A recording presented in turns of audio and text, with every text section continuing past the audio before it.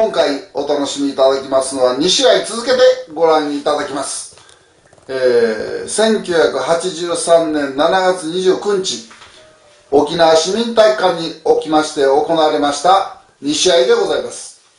1試合目は、あ天龍源一郎、阿修羅原組対、えー、ジプシー・ジョー、ジェリー・モロー組のタッグマッチ30分一本勝負でございます。え、その後はそのまま、えー、現実に、えー、その後の試合として行われました、えー、タイガー・ジェット身体マイティ井上のシングルマッチ30分一本勝負。これ続けて2試合見ていただきます。え、テリーファンクさよならシリーズなんていうことになってまして、えー、テリーが見たいっていうので、もうお客さんいっぱいだったというシリーズだったと記憶してます。えー、まあ、ほとんどマイティの上、ジプシー上、ジェリーモノ、アシュラハラと、ほとんど国際勢で占められて、タイガー・ジェットシュート、天竜以外みんな国際プロレスというね、の連続した試合をご覧、お楽しみいただきます。どうぞ。ほとんどありません。本当に激アツなってまいりました。テリー・ファンクさよならシリーズも日本の最南端沖縄県に入ってまいります。さあ天竜が入ってくる。天竜がジプシー城に攻撃を加えます。さあジプシー城が足が原の顔面へ口の中に手を入れました。もう見境ない攻撃ですね。本当のラフファイトですよね。これは足が原呼吸ができなくなってまいりました。ちょっと苦しそうな足の原の表情でありますヘッドバット一発を見せました。足の原も沖縄に入ってまいりまして、えー、ムーンビーチなどに行ってちょっとビーチを走ったようですね。暑い中で走るとなかなかスタミナが効くんですよね。ええー、まあ、一汗かいてきたんですが一汗絞ってもこの南国特有の蒸し暑さですから何度も何度も汗が出てしまいます。フープラトンのアトミックドラップ。天竜が入ってまいりましたさあもう一回ボディスラムを見せておいてさあコーナーと最上段からこれは自爆。フライングのエルボードロップは自爆であります。リングの外に天竜が吹っ込んでまいりました。リングサイドの最前列のお客さんの椅子を奪って狂気に使います以上の椅子攻撃もうこのジプシー・ジョーに椅子を渡しますと本当に椅子の攻撃はうまいですから要注意なんですよね。おっと阿修羅原が後ろからドロップキック。これはいいですね。ええ後ろに目はありません。ジプシー・ジョーしかし背中に椅子攻撃足への椅子攻撃そしてスモールパッケージに入った。スモールパッケージ ジョーの後ろからヘッドバット。ジェリー・モローのフォローがいいぞ。外人サイドの連携が素晴らしい。阿修羅原のイーブスの後にヘッドバット髪の毛を掴んでまだ離さないジャンピングヘッドバット攻撃。ジェリー・モローの攻撃になります。さあボディスラムからロープを取ってダイビングヘッドダイビングヘッドバットに入りましたジェリー・モロ。ー強烈な石頭攻撃。やっとの思いで阿修羅原が払いのけます。いやちょっと日本サイドはこのヘッドバット攻撃は要注意と見ていたんですがちょっと捕まってしまいました。さあジェリー・モローがコーナーマット最上段。いやダイビングのヘッドバットこれは自爆。ダイビングのヘッドバット自爆になります。ブレーンバスター。速いブレーンバスター。天龍がジプシー・ジョーを抑える。カーブスリー最終的には阿修羅原がジェリー・モローからピンフォールを奪いました。天龍がジプシー・ジョーにセットに入りましてジプシー・ジョーの攻撃を許しません。ご覧のように最後は速いブレーンバスターから阿修羅原がジェリー・モローにピンフォールをどういうレスリングを見せてくれますか？とうとうこのタイガー・ジェット・シンは念願のベルトを手に入れました。さあ姿が見えてまいります。この右サイド上田馬之助とチームを作りましてジャイアント馬場ジャンボ鶴田からインタータッグのベルトを奪いました。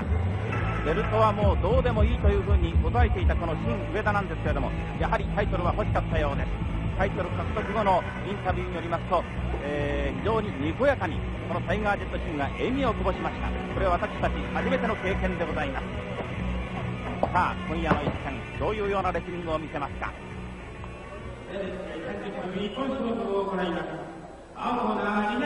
ますずタイガー・ジェットシンから紹介されましたインターナショナルタッグチャンピオンタイガー・ジェットシン。今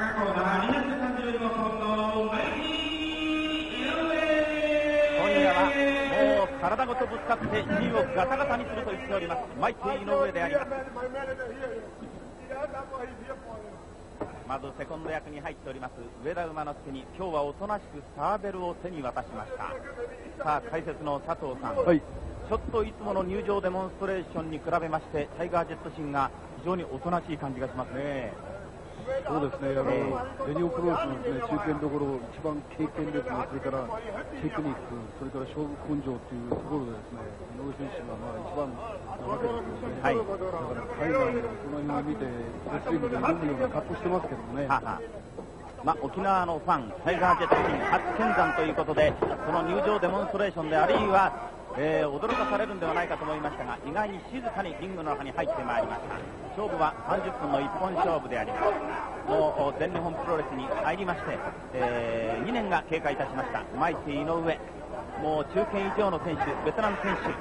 さあ、どういうようにタイガー・ジェットシンを向こうに回して、どういうレスリングを見せてくれますかあタイガー・ジェットシンが早くもマイティの上を場外に送り出しました倒れておりますブルーのマット上マイティの上そばにありました椅子を掴んでまず一攻撃突撃ものす。ごい勢いでマイティの上の喉元を突きましたタイガー・ジェットシンであります。インターナショナルタグチャンピオンチームさあタイトルを取ってから初めての試合なんです。けれどもベルトを取ってからのタイガー・ジェットシンどういうレスリングを見せるかそういったところもまあ興味津々というところなんです。がまずは場外乱闘を挑みまして早くもリングの中に入ってまいりましたまあそれにしても佐藤さんあの福岡大会インターナショナルタッグ選手権えータイガー・ジェットシン、シン、それから上田は非常に積極的なレスリングを見せましたね。そうですね、えあの普段見えないようなところをですねどんどんやってましたし、今終わってみればですねやはり向こうの術にはまったってところが本当の話ですね。そうですね。それから勝負の後半に入りましたから、タイガー・ジェットシンのいわゆる本来の実力を見せましたよね。まああのかなりレスリングの技が出たわけですよねあの試合では。カウンターのコブラクロー。これももうジャンボスルタの喉元にバッチリ決まっておりました。さあ、インターナショナルタッグチャンピオンのタイガー・ジェットシン。さあ、マイティ井上も場外乱戦を挑みます。椅子を取って、今度はマイティ井上が椅子を持ってタイガー・ジェットシンをめった打ちにしようとするところ。沖縄市営体育館、昔はコザと言いました。えー沖縄市のお客様、さあ、タイガー・ジェットシンのレスリング、いよいよ、この暴れっぷりが見られます。ちょっと、タイガー・ジェットシンを取り巻いておりますが、あっけにファンが、えー見つめています。何しろ、初見山でございますので、ちょっと佐藤さん、えー沖縄のお客さんも飲まれましたね。そうですね沖縄のファンというのはあのおとなしい方なんですよね。それでもこうやって見てますとねかなり声には出せないけども表情には出てますね。そうですね。はい。さあ、一方、マイティ井上の方も負けておりません。あーっと、リング上に椅子が飛んでまいります。いやー、これには沖縄のお客さん、全く声が出ません。そして、タイガー・ジェットシンの一挙手一投足をじーっと見つめています。さあ、再び目が光ってまいりました。インターナショナルタッグチャンピオン、タイガー・ジェットシン。とうとう日本で念願のタイトルを手に入れました。それにしても佐藤さん、今年のジャイアント馬場ジャンボするたびにですけども、